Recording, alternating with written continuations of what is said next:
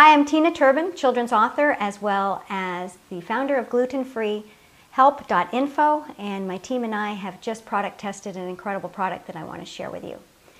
The founder of this company, Little Bay Baking Company, her name is Helen Sanders, and about 28 years ago, she found out she needed to eat a gluten-free diet. And she was a little bit skeptical, but she was a cook, and she liked to eat, and she loved her family recipes, her kids, wanted her to keep cooking.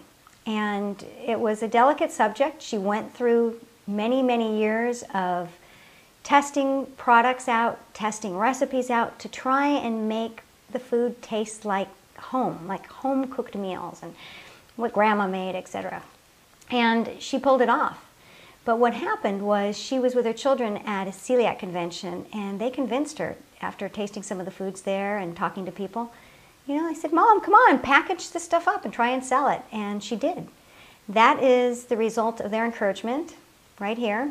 The Little Bay Baking Company, it is now in a larger facility in Dover, New Hampshire. She is a member of the Gluten Intolerance Group as well as the Celiac Sprue Association.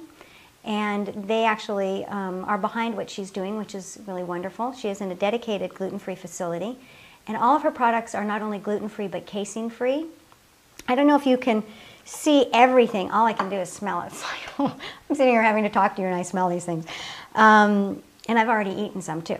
So uh, one thing that's really interesting about her products is one package, you can get 10 or more variety of recipes, and she offers many recipes. And it takes a little bit of imagination, but on top of it, she offers the recipes, which are incredible.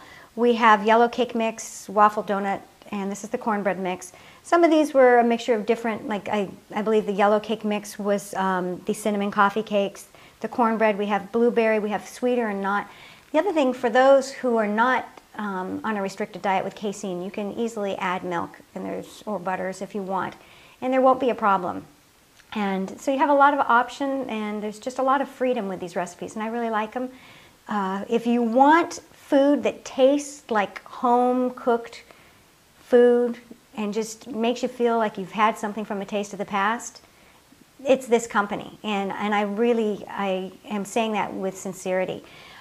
Um, she wanted to set out a company that was going to create foods that make you taste like you remember them.